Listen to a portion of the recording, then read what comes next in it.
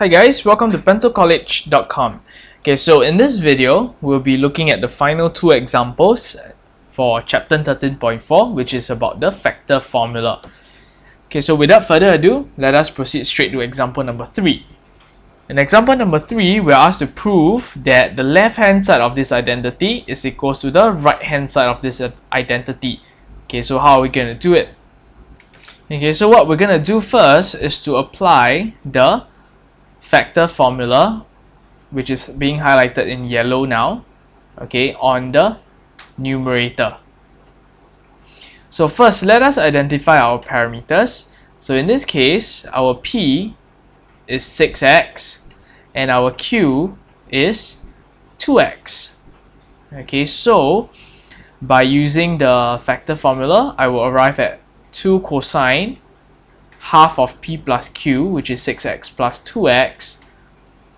So the, this is the left hand side of my function. Okay, 2 cosine half 6x plus 2x sine half 6x minus 2x. Okay, this is what we have for the numerator over here. Next, we will move on to apply the factor formula on the denominator. Okay, on the denominator. So the denominator is in this form, okay? I'm going to apply it to the denominator. So in this case, okay, let me use a different color to make it more obvious. In this case, my P is also 6x and my Q is also 2x. So using the factor formula, this will give me negative 2 sine half of 6x plus 2x sine 6x minus 2x.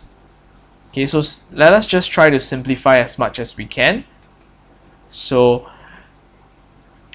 in the numerator, we have 2 cosine. So half times 6x plus 2x is just 4x. Okay, and the sine of half times 6x minus 2x is just sine of 2x.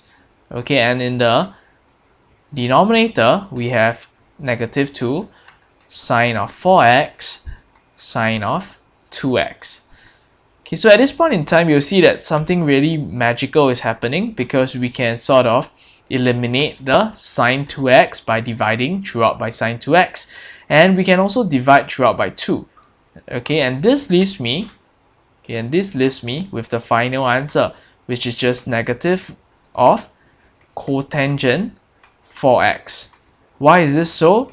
Okay, for those of you who have forgotten, recall that cotangent theta is actually cosine of theta over the sine of theta. Therefore, cosine 4x divided by sine 4x will give me cotangent 4x. As, as for the negative sign, it comes from the negative sign over here in the denominator. Okay, and this is just equals to my right hand side. So RHS stands for right hand side. And I'll write proved. Okay, I hope this was simple for you guys. Okay, that's all for example number three. Okay, so for this seemingly difficult looking equation, what we will do is to shift negative sine 5x over to the left hand side of the equation. So I'll end up with sine 5x plus sine x plus sine of 3x equals to 0 okay then we will apply factor formula on the yellow highlighted portion. Okay so let me make it more obvious. So I'll be using the first formula over here. Okay so similarly let us identify the parameter. So P will be 5x and Q will just be x. Okay so breaking this down I'll have 2 sine 5x plus x divided by 2 okay so half of 5x plus x cosine half of 5x minus x plus sine of 3x equals to 0 okay so breaking this down even further I will have 2 sine 3x cosine 2x plus sine of 3x equals to 0 Okay, factorizing out the sine of 3x, I will have this. And then from here, we will have two scenarios. So the first scenario will be when sine x, okay, will be sine 3x rather equals to 0. And the second scenario will be 2 cosine 2x plus 1 equals to 0, which can be simplified to become cosine 2x equals to negative half. Okay, now the key thing to take note here is that the range of x has already evolved okay or changed okay because previously we had x to be between 0 to 180 degrees but now that we have 2x the range of 2x will be between 0 to 360 degrees okay just by multiplying 2 throughout this inequality. Now how about that for 3x the range of 3x should be that of 0 to 540 degrees okay by multiplying 3 to the in the initial inequality over here. Okay so 3x the what are the possible values for 3x then we have 0 degrees 180 degrees 360 degrees and 540 degrees. Okay the easiest way to see this is probably by sketching the sine curve okay?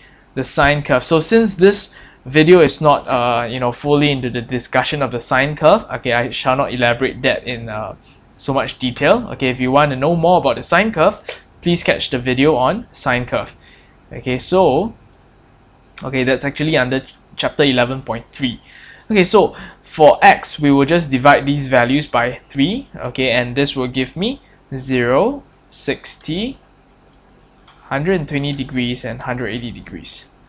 Now, how about the second scenario or the second case over here? Okay, so since cosine 2x is a negative value, we can either be in the sine quadrant or the tangent quadrant.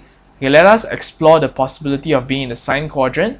So over here, okay, we have our 2x and as per usual, let me draw in my right angled triangle okay and similarly identify the basic angle alpha which is over here. Okay so this is alpha.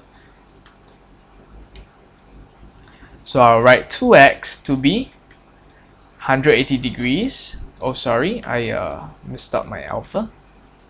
So alpha should just be cosine inverse of half okay which is just 60 degrees Okay, so also take note that um, for to find alpha basic angle, we always ignore or omit the negative sign.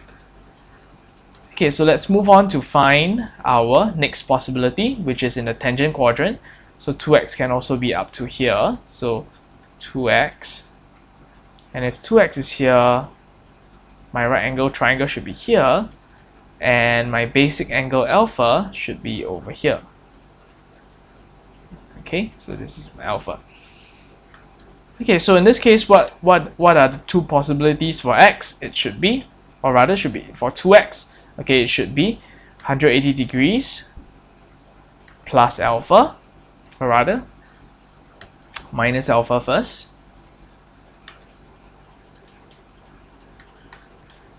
Or 180 degrees plus alpha. Okay so the corresponding values of x, we just divide this by 2